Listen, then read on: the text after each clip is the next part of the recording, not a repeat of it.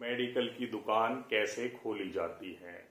आप सोच रहे हैं कि हमारे आसपास अनेकों मेडिकल की दुकानें हैं, इनको बड़ी डिग्री करने की ज़रूरत होती है।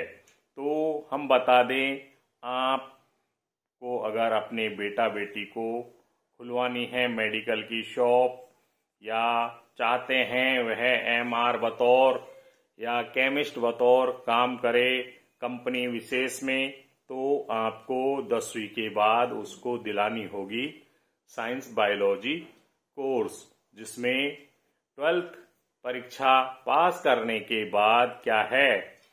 डी फार्मा, बी फार्मा का क्या है? कंपटीशन दिया जाता है और प्राइवेट कॉलेजों में डोनेशन बेस के आधार पर भी एडमिशन हो जाता है।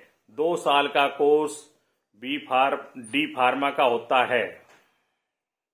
और बी फार्मा का कोर्स चार साल का होता है।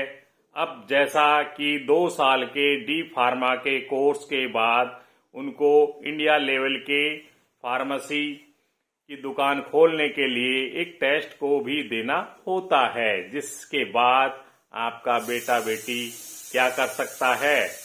फार्मासिस्ट यानी मेडिकल की शॉप को खोल सकता है। तो ये थी अच्छी जानकारी। इसके अलावा बी फार्मा करने के बाद आपका बेटा बेटी मेडिकल की दुकानों को चेक करने वाले अधिकारी ड्रग इंस्पेक्टर की पोस्ट के लिए भी आवेदन कर सकता है। तो कैसी लगी हमारे ज़रिए दी गई शुद्ध और सटीक भाषा में जानकारी?